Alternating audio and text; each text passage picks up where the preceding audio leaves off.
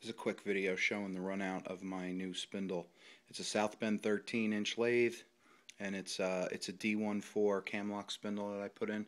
Just got it shimmed up today and I'm using a Starrett last word that goes down to tenths. Um, put the sucker right in here. Try to focus it. It's an iPhone so.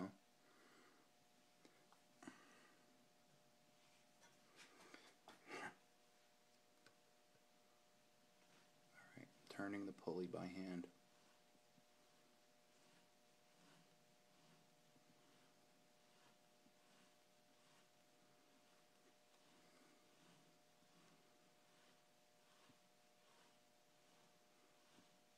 Sometimes it wants to read a tenth, but now it looks like it's just coming off the line. Not even reading a tenth. Tenth of a thousandth of a thousandth. That's pretty good.